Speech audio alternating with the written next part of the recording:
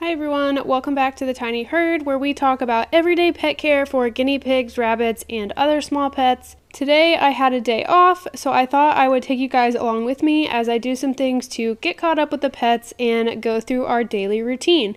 So you can see the bunnies are out and ready for their morning breakfast pellets. So let's go ahead and go into the pet room and get started with our day. So you can see that the pet room is currently a bit of a mess. It's been about a week since I've done a good vacuum and clean cages and all of that. So today we're going to be catching up on some of that stuff. I'm going to be cleaning cages, cleaning up the floor, vacuuming, just doing some general maintenance and cleanup in this room, as well as our normal daily routine with the pets and showing you some specific things that I want to get caught up on. So the first thing I do every single morning is start off by getting the bunnies their pellets so that they're not under my feet the whole time. They are currently eating the Oxbow Garden Select adult rabbit pellets, and they each get one quarter cup scoop per dish, so that's a quarter cup per rabbit. Once I'm done getting the bunnies their breakfast, I get pellets for all of the guinea pigs. The girls and Johnny and June eat the Sherwood Pet Health Adult Timothy pellets right now, but we are working on switching them to the Oxbow Garden Select as well. Jellybean and Georgie already eat the Oxbow pellets, so I would really like to just transition everyone onto the same food. All of the guinea pigs get a eighth of a cup per pig per day, so that equals a quarter cup scoop per cage because I have all pairs of piggies. Once all the guinea pigs and the bunnies have been fed, I come out into our front room so that I can feed the little mousie. I haven't been able to get some very good footage of Snickers in the past, so this was a great opportunity to let you guys get a closer look at her. She is a fantastic, sweet little mouse, and I absolutely love interacting with her and getting to just watch her and see what she's up to. So I will be feeding her here in a second that you will get to see, but you can probably tell she is a little bit on the fat side. From talking to my vet and doing some research, she is a brindle breed, so that's like her coloring, and they tend to be a little more likely to get fat. I also don't necessarily feed the, her the healthiest food, but this is much better than what she was getting in foster care and at her previous home. So the vet was pretty confident that this is okay to be feeding her. It's healthier than what she previously got, and I think she put on a little weight finally getting a little bit more balanced of a diet. Then I also make sure that her water bottle is working because this one tends to get stuck a little bit, so I check it a couple times a day. And then I just let her go about her little normal mousy behavior. I do also normally tidy up a little bit, but I generally do that in the evening, so you guys might see that later on in this video.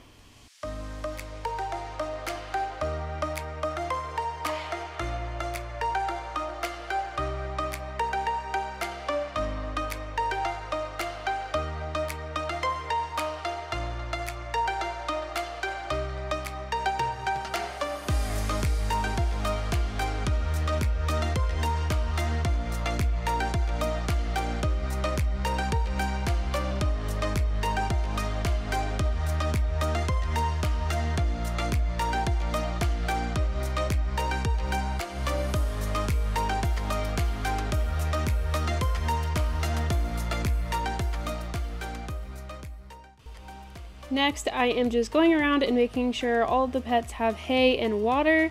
Everybody had water this day because I had refilled everyone the night before when I spot cleaned, but I did go around and make sure everybody had plenty of hay for the day.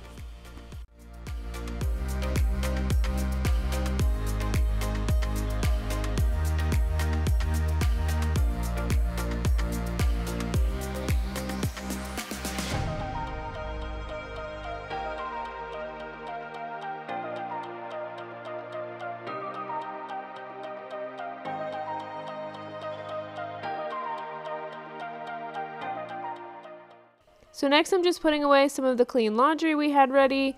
I like to stay on top of this just so that we're not super behind on laundry, especially because you will see I am also cleaning cages today, so I wanted to make sure I had everything available so I wasn't missing anything that I needed just because I hadn't put it away. So I'm going to do that and then I'm going to jump into fully cleaning cages today. You guys will get to see that and vacuuming and all of that.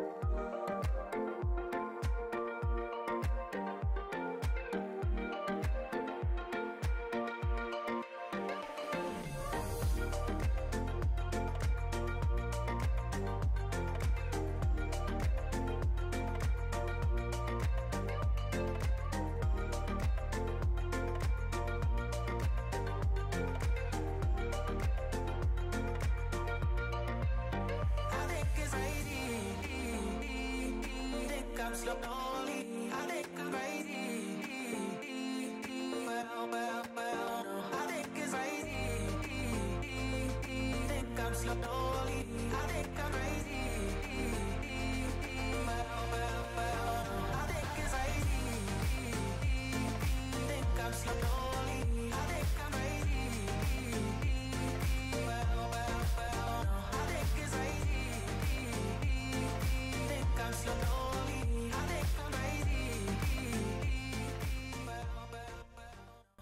I finally brought the plastic back in to put in Jellybean and Georgie's cage.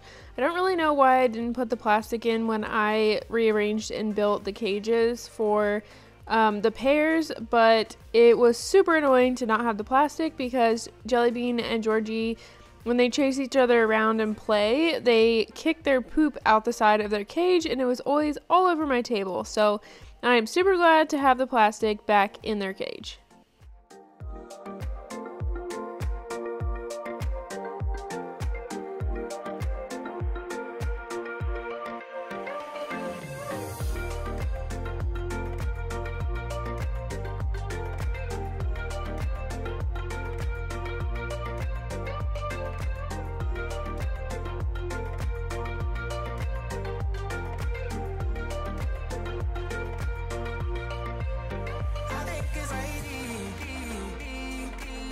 I'm stuck on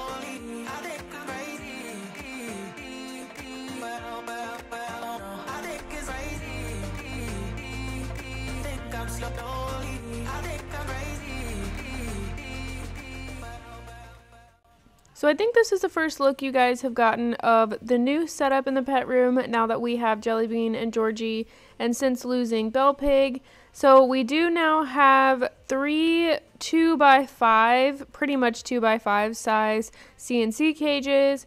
One has Johnny and June, one has Callie and Lily, and then one has Jellybean and Georgie, and then Jellybean and Georgie's has the loft on it, which is not quite a 2 by 2 so those are the setups. I really like having the two along the one wall because they're really easy to clean and it's really easy to have hay on either side of the divider. So I'm really liking this setup so far and then having the more open space in front of the window to let a little more light in. So this is just working out really great.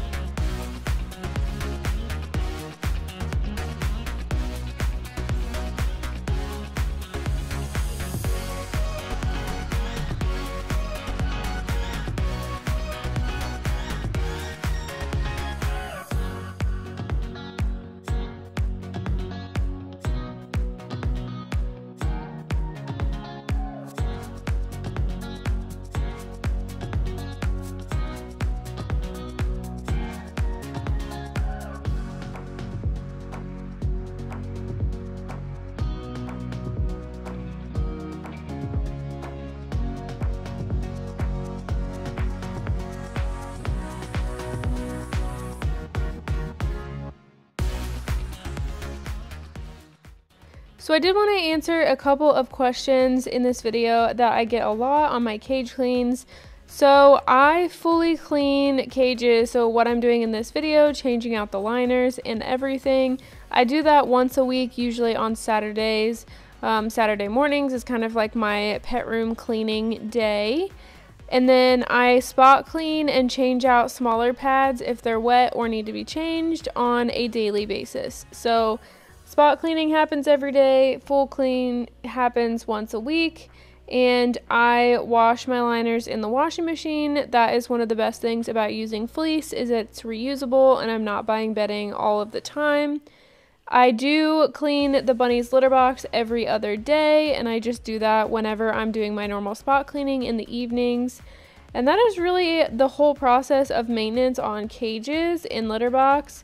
Other than that, I vacuum kind of every couple days if it's getting bad or once a week overall if hay is not getting everywhere, though hay is usually getting everywhere. So I kind of just keep up on the rest of the floor maintenance and kind of sweeping up the hay kind of as needed and then of course I do a big vacuum when I clean cages but other than that everything's as needed other than spot cleaning and cage cleans.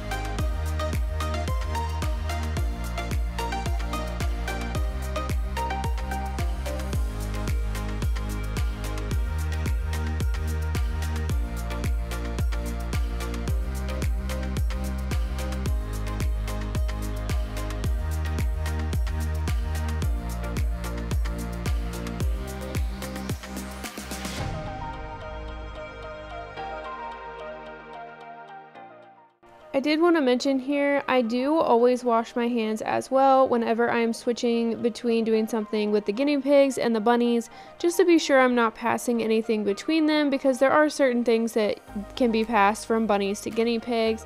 So I just wanted to mention that. I don't show it on camera, but I do wash my hands pretty often in this process.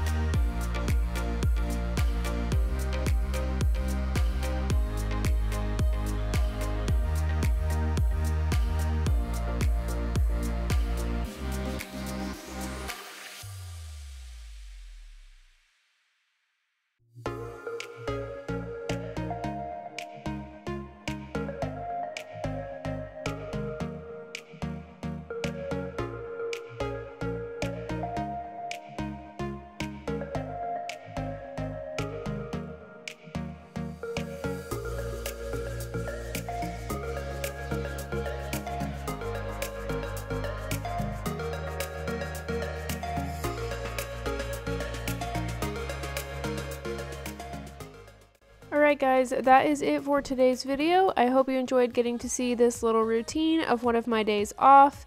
Thank you so much for watching. I hope you enjoyed this video. If you did, please give it a thumbs up and subscribe if you haven't already. I post new videos every Friday. Thank you again so much for watching, and I will see you guys next time. Bye!